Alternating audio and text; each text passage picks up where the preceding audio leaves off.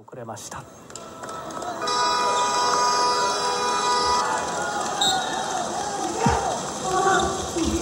後半が始まります。長谷川がボールを入れました。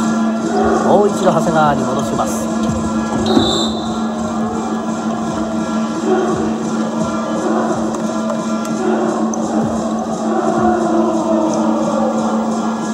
今度はエンドからまた長谷川がボールを入れます。長谷川4兄弟の一番下です。三原に対してファウル。これはファウルですよね、えあー僕はあのーサイズ的にも、あのー、三原君に対してですね、はい。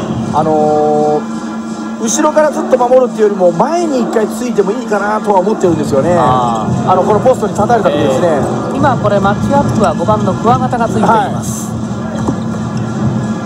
10センチちょっとの差ですからね、はい。かわしてのミドルシュート決まりました。いいですね。ポイントガードですがシュート力のあります佐々木兄もう一回これは落ちた。リバウンドは10番の立山が入っています。この人は来年のアンダー18の代表候補です。2年生。三原のショートコーナーからの軽々とシュートを決めます。ちょっとあのーええ。別格ですね。ですね、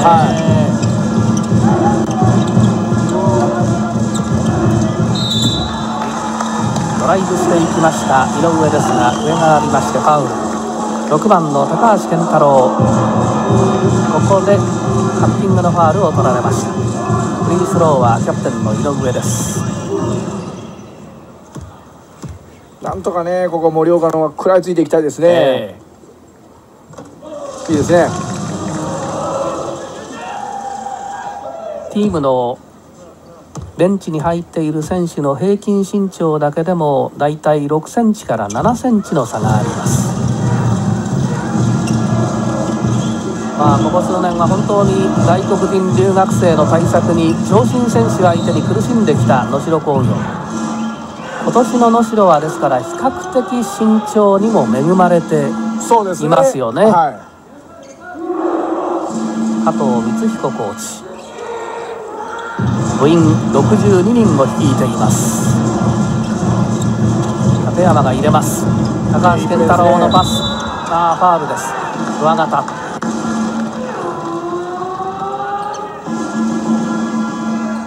うんよくブロックしてますけどね、ええ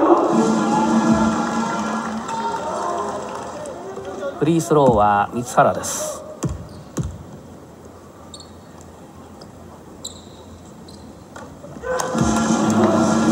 何でもこの人はいいですね。何でもこなせますね、ええ。出身は東海大相模の出身です、まあ、比較的能代工業は地元の選手が多い中ですが三原は東海大相模中学を出ました、うん、ファウルファウルですね。のファウルです。まあここまでのプレーぶりを見ていてもこの三原はあんまりあの無駄なファウルなどはしないなというふうにそういうクレバーさもあるんですよね。そうですね。ええ。ここは一つファウルがありました。ポイントガードの佐々木です。熊谷。いいいい伝説あうんとあお桑形ああ身長差があります三原ちょっと意識してしまいましたねええ桑形選手ね198センチ桑形の方は186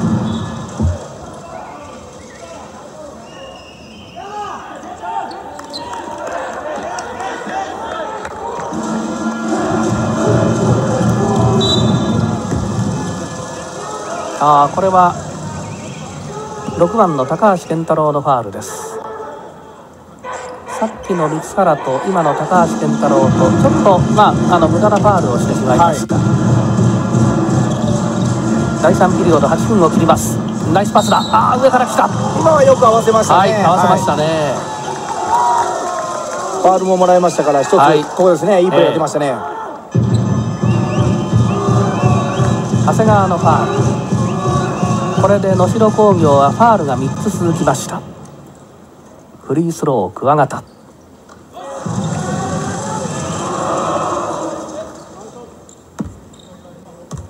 長谷川のファールは2つ目です。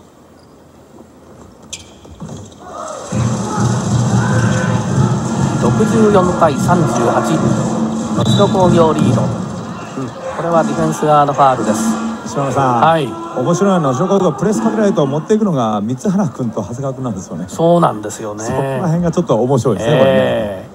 多分今までの能代でこういうパターンないんじゃないですか、ね、ないですよね、はい、ね。普通は能代はあの俊敏なポイントガード、はい、クレバーなポイントガードがゲームをリードしていくというのはこれ能代のイメージですもんね。そうですね、えー、フリースローは長谷川今シーズンの U18 の代表選手の一人でした。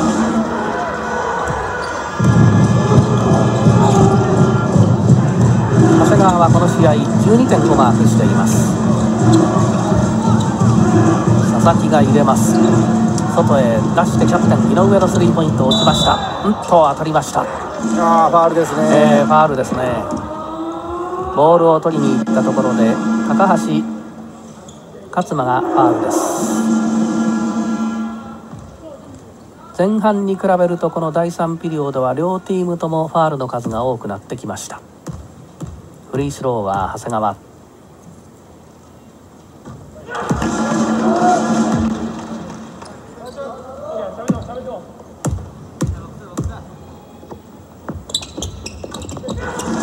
これで40点リード30点リードです。68対38やめませんよね、はい、ね、え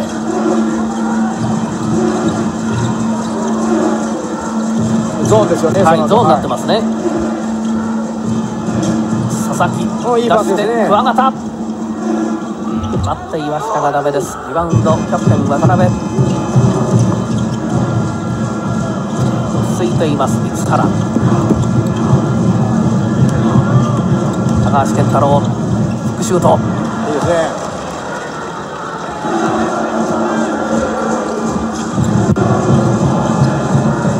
いただいた高橋のフックシュートです。高橋これで14点。コーナーから。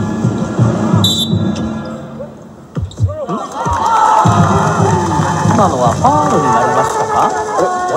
渡辺ですね。そうですね。内ですけどね。ファウル取られてしまいましたね。益子工業のキャプテンの渡辺がファールを取られています。メンバーが変わりそうです。渡辺が下がります。そして9番の宮川が入ってきました。この宮川も3年生です。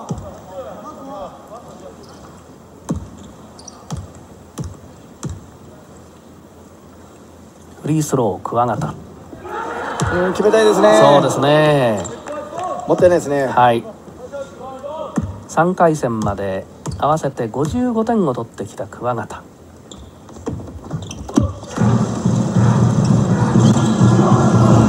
長いパスをパスカットしました。井上の動き。ああ合いません。戻した。いやプレッシャーが相当かかってますからね。コーナーからは決まらず三原ロシロは13番の熊谷が入っています。この熊谷も3年生です。回戦からこの控えの熊谷を使いました。ダブルチームに行ってもね、え。ー、ダブルチームの役目じゃないですよね。あの高さが違いますからね。難なくパスしますよね。後ろから高橋のファールです。ただねそれでもなんとかここそのディフェンスから動いていってあのー、突破口を見つけないといけないでしょうね、えー、ああファールアウトですか？ファールアウトですね。高橋のファールが5つになりましてファールアウトです。代わって14番の佐々木弟が入ってきました。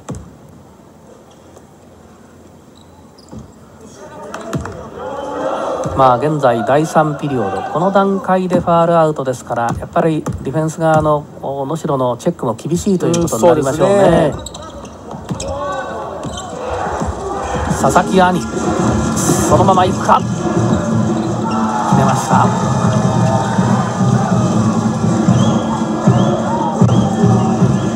6分切ります。第3ピリオド。佐々木は18点取りました。ドライブはそれをフォローしました。いいリバウンドですね。はい。能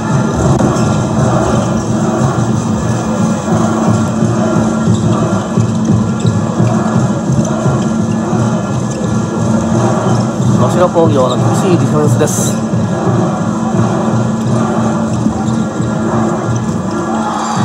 ん。これは外から打ちましたナイスシュートです。熊谷。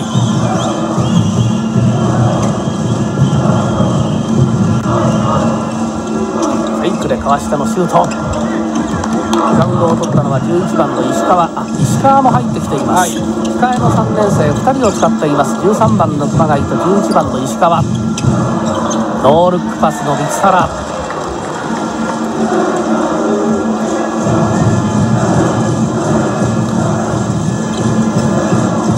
能代のこのディフェンスはあのマッチアップゾーンの形を取ることがありますね。そうですね。桑形よく決めましたね。はい。白木さん、はい今第3ピリオドはこれ同点ぐらいなんですよね。え28点28点よく頑張ってるんですけど、はい。だから連続性がないんですね森岡あ君ね。そこら辺でしょうね問題はね。ここはダンクを決めます長谷川。大きな技を見せました。30点差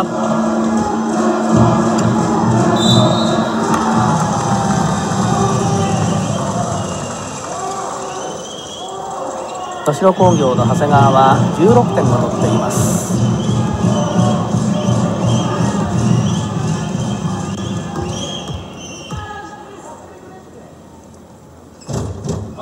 いいですね。はい。8番の熊谷のフリースローです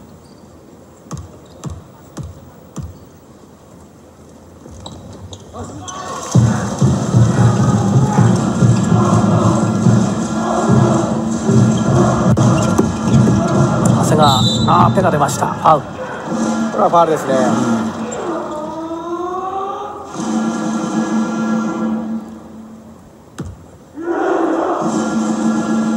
フリースローは長谷川です。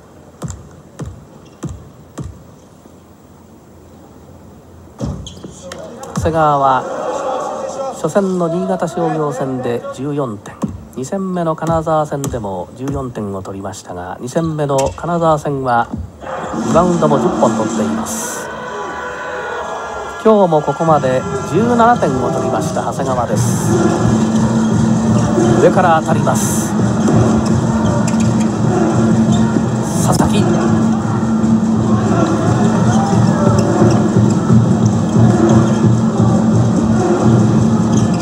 スリーをもう一回打ちました。がこれもダメだ。オフェンスリバウンドつないでいるダブルティーム。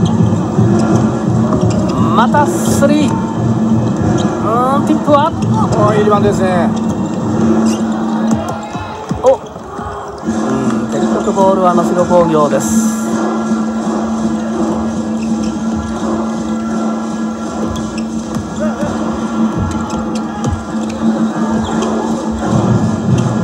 控えの3年生の13番決めました熊谷。よく決めましたね。ええ。なかなか点差が縮まりません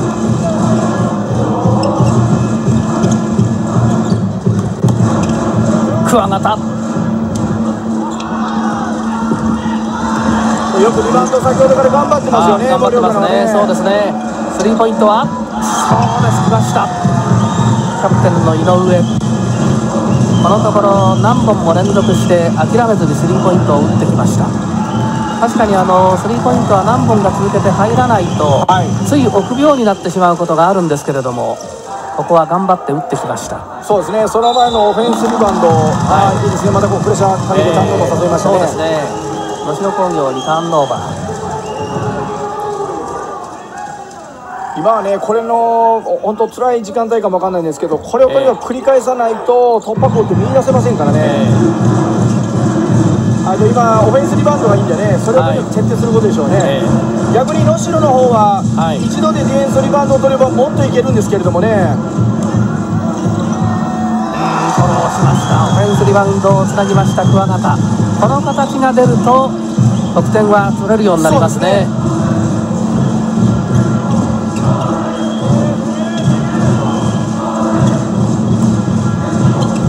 森岡はマンツーマンです。おっとファウル。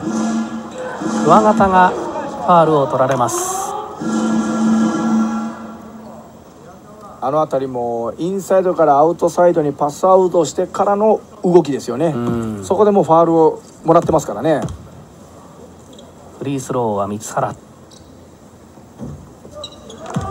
珍しくフリースローを1本落としました。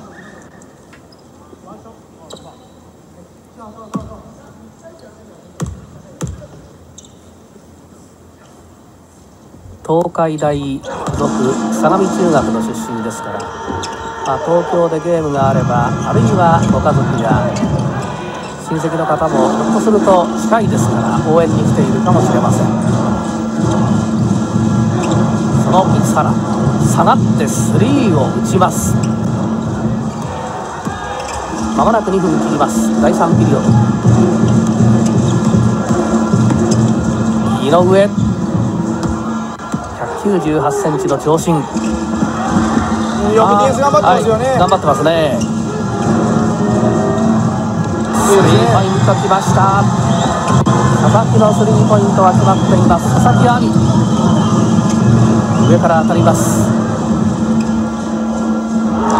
パスカットに行きます。頑張ってますね。えーよく動いてますね、はい。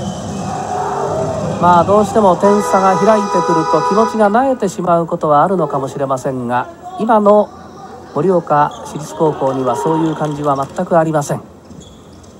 ここでメンバー8番の高橋陽2年生が入ってきました。そして10番の6番の立山シューターも戻ってきています。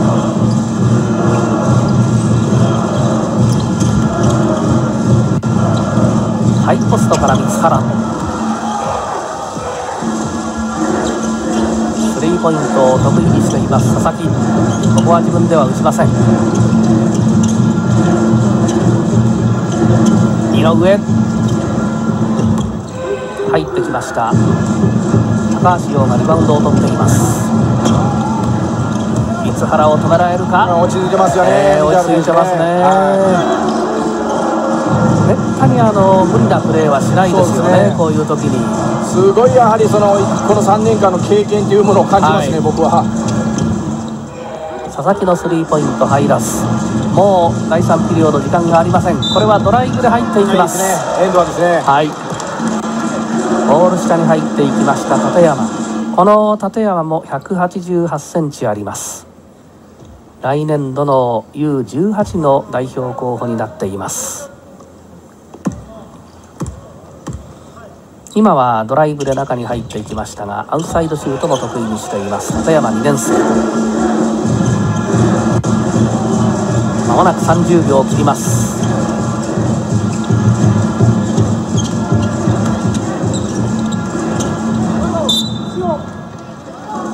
能代工業ボールです。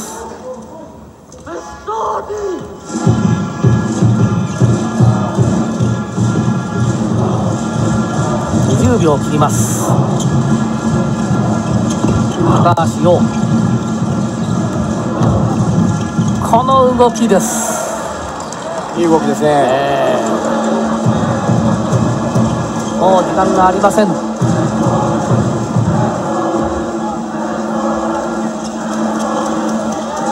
時間いっぱい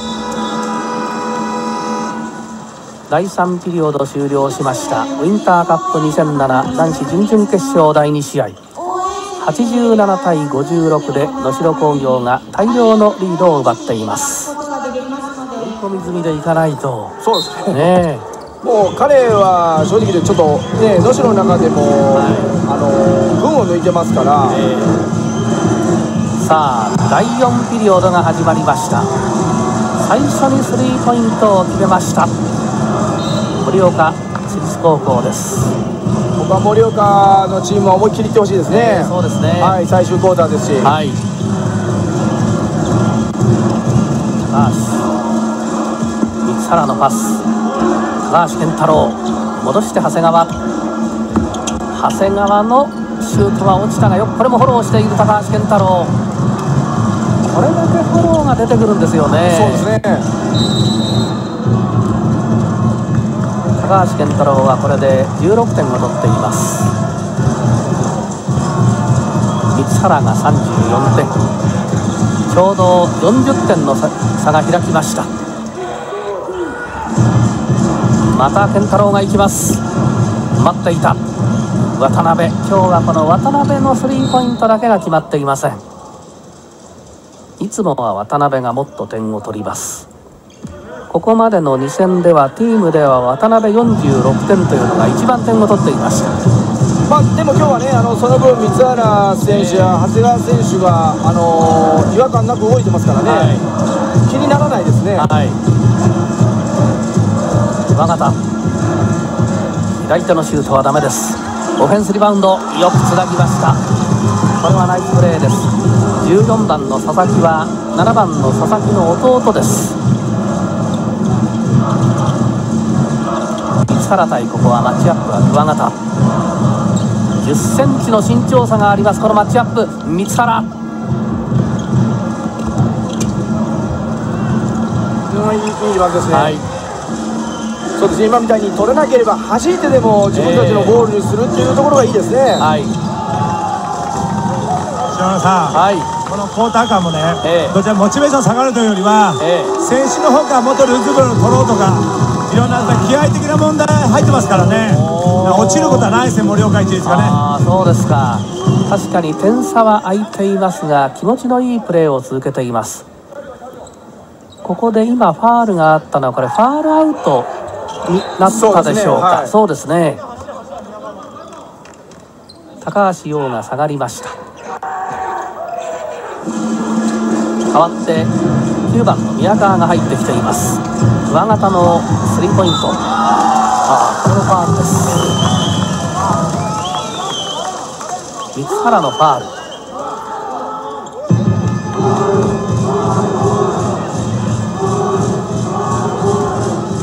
原のファールは2つ目です。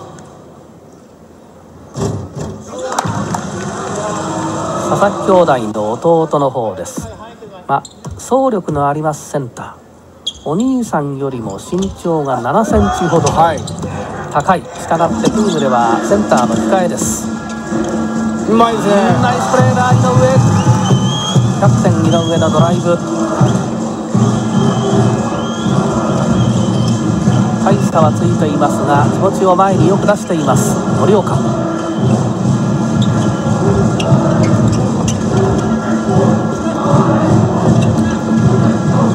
高橋健太郎。いいプレーですね。いいですね。非常にアグレッシブなパワフルなプレーをします高橋健太郎です。本当に気持ちが入ってますよね、え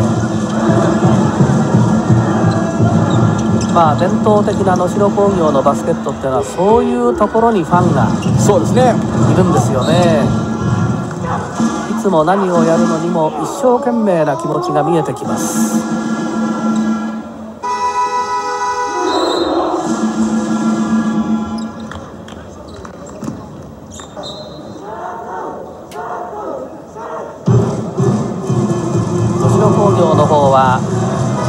シーズンの3冠がかかっています。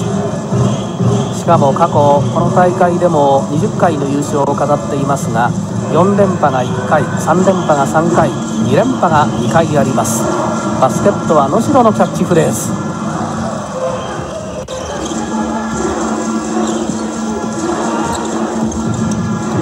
あ後ろから行きました、見事なディフェンスです。宮川速い攻め三原止められない。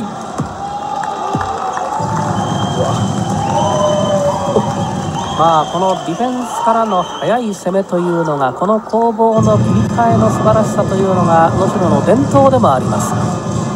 ただ今までのチームというのはポイントガードが起点になってやっていたんですがそうですね、えー、まあそれが本来の能代のあのイメージですけどね、えー、ただ長谷川選手がほぼボールを運んでますからね、はい、キャプテン井上のスリーポイント。そのリバウンドを取ったのは長谷川。三原。高橋健太郎のクロスパス。渡辺。今日は入らない。いいリバウンドですね。これをフォローする高橋。ティップはあはたいた。はたきましたね。ナイスブロックです。井上が行くったファールだ。宮川のファールです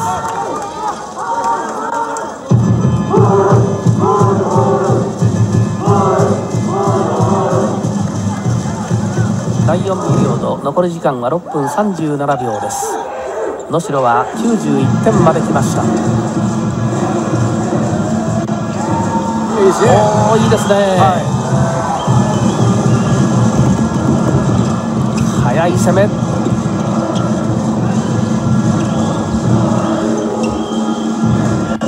ネルギッシュに高橋健太郎。入ってきた宮川。長谷川三原ハイポストから入れます。93点まで来ました。今後ろから、うん、手が出ました。ナイスプレーです。渡辺。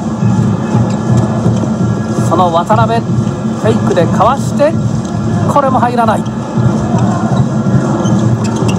速いパスだ。もう一回渡辺今度は長谷川。ここに三原。パスを送って高橋健太郎。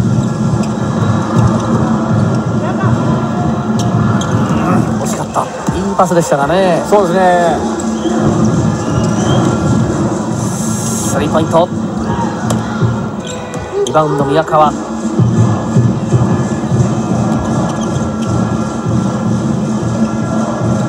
今度はどうか決まりました渡辺。なんかようやく来ましたね、えー、ようやく渡辺のスリーポイントが決まりました。うんまあ今日苦しんでますからね、はい、ただあの今日ここで終わるわけじゃないんでね。今のようにやはり相手はとにかく自分のあのタイミングペースでどんどん打ってほしいですね、はい、熊谷のシュートは落ちています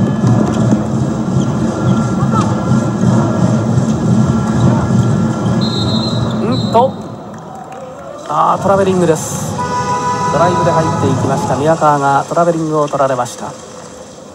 これで宮川が下がります。そして10番の立山が入ってきます。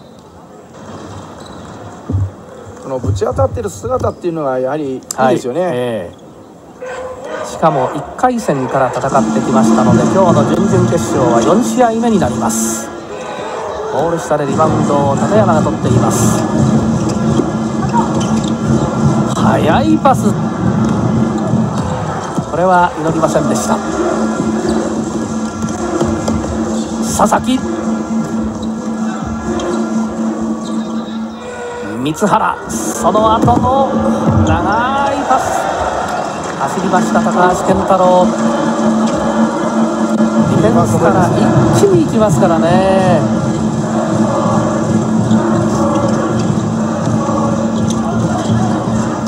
よくオフェンスリバウンドをつないだところでファウル。能代工業は98点まで来ました。もう100点ゲームは間違いないというところまで来ました。残りは4分10秒。フリースローをもらったのは桑形です。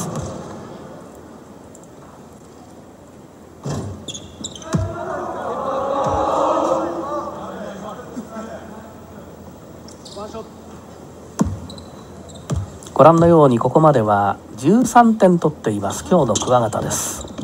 うん2投とも落としました。ここまで55点を取ってきました。桑形ですがやっぱり相手のディフェンスに苦しんでいます。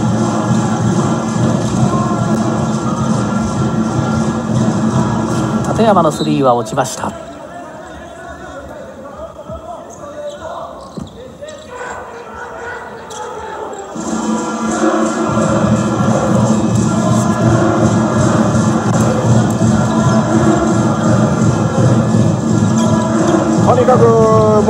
こはあの思いっきりシュートまで結びつけたいところですね、はい、まあ、あの残り時間を考えてもね、うん、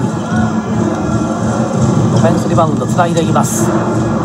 佐々木。この佐々木選手がなんとかねずっとほぼ奮闘ですよね、えー、佐々木26点取っています。次の準決勝の対戦相手はすでに決まっています洛南です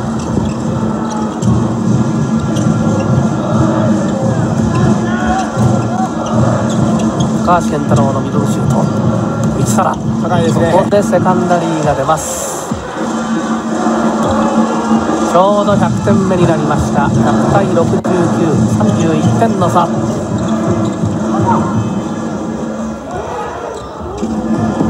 三原軽いレイアップです。102対69となりましたしかし今ご覧いただきましたようにベンチの加藤光彦コーチの表情というのは決して緩めてはいないですね。そうですね、えー、やはり経験を積ませたいっていう選手もやはり中にはいますからね。はい、だから今、あのー、立山選手ですよね、はい、10, あの10番の。えー彼に対してもうちょっとこうしこうしていこうああしていこうということを要求してるんだと思うんですけれどもね。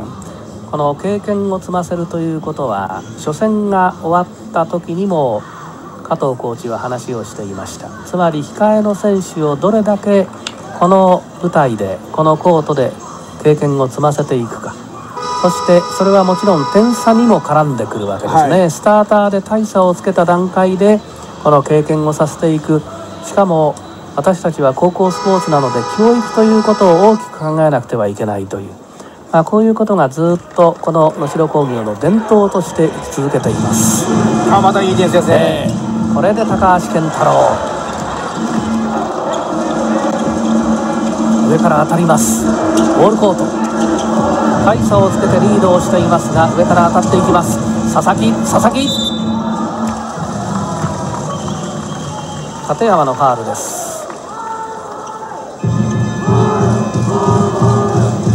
まあ、よくその大差をつけるとなんかこうプレーがルーズになってしまったりするということもあるかと思うんですが、はい、一切ありません、ね、ないですね、えー、とにかくあのゲームが終わるいわゆるそのブザーが鳴るまではもうゲームですよね。はい。これで三原のファールは4つ目になりました。今日はここまで27点取ってきました佐々木です飛んだのは長谷川。その長谷川三原が打つ。どうしてもあの今のような位置の時は前が空いてしまうんですよね三原に対してね。そうですね、いやねあのつききれてないんですよね、はい、つけないですね、遠い位置からのスリーポイント。これも三原が飛んでいきました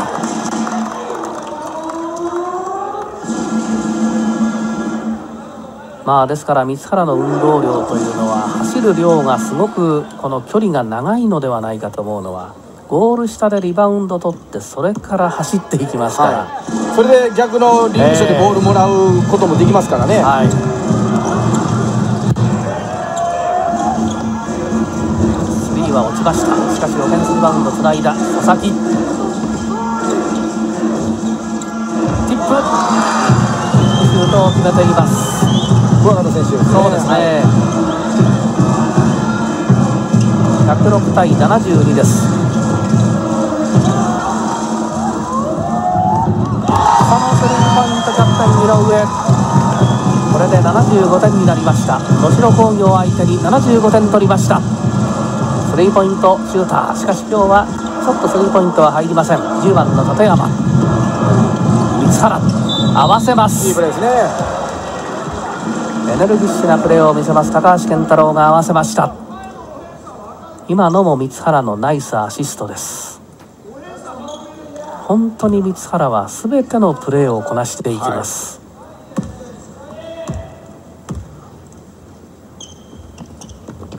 はい、カウントワンスローも決めました。109対75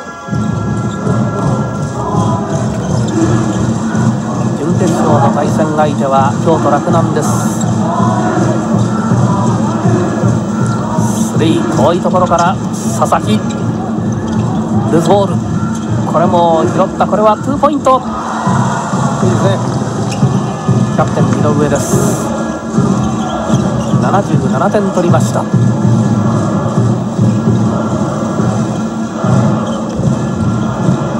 得意のスリーポイントは2本続けて落ちました立山です。79点取りました。もう1分切っています。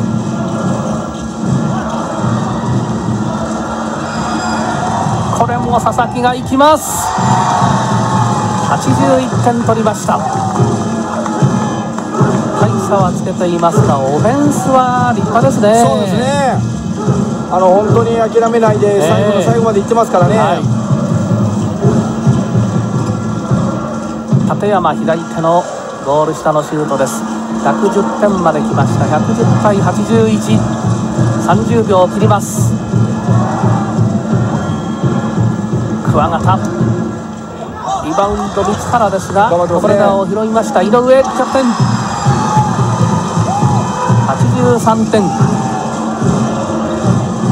少なくとも北海道市の戦い方よりもはるかに良くなりましたここで得意のスリーが出ました立山です。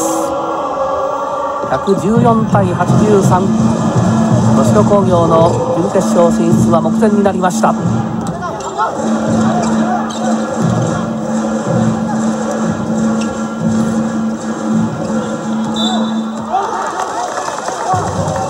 う残りは0秒5です。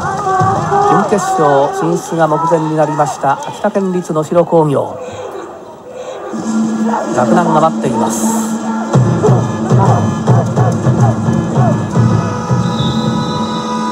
試合終了114対83男子準々決勝の第2試合能代工業が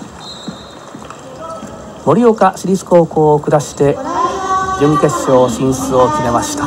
対戦相手は洛南となります。